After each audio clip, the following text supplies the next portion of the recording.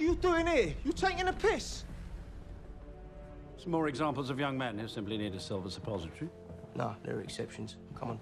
Nonsense, we haven't finished our drinks. After you nicked his car, Dean says you're fair game. And you don't give a shit what your mum says. Um, listen, boys.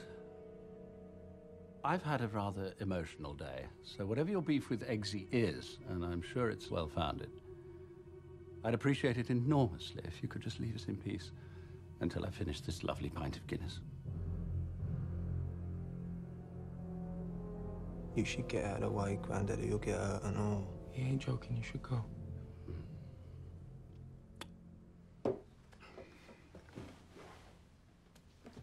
Excuse me. Excuse me.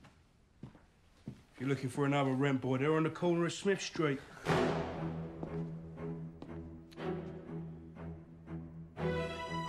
Manners maketh man.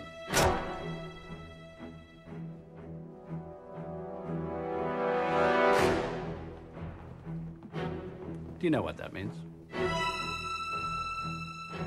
Then let me teach you a lesson.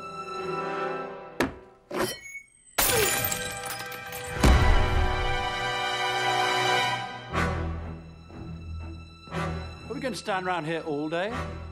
Or are we going to fight?